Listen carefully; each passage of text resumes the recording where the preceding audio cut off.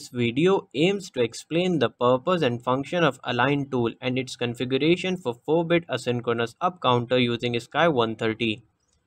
Let's begin with an introduction to align.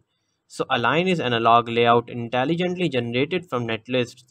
It was created as part of the DARPA program by the University of Minnesota, Texas A&M University and Intel Corporation we will answer some questions you might have regarding Align, such as its capabilities and benefits for us, and the types of input it accepts and the output it produces. Basically, Align helps us in creating the analog layout of any analog circuit using its SPICE netlist automatically. An instance of a 1-bit ADC is presented here. When we provide Align with the SPICE netlist for this particular 1-bit ADC, it will create the corresponding layout. Input and output of Align. The input format for Align is a SPICE netlist that should have a .sp extension, whereas the output files generated by Align are in the GDS and LEF formats. Prerequisites for Align.